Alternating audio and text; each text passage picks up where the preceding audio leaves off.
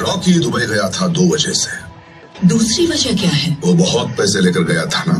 But wasn't that an advance for the gold Inayat Khalil was sending no then what was it for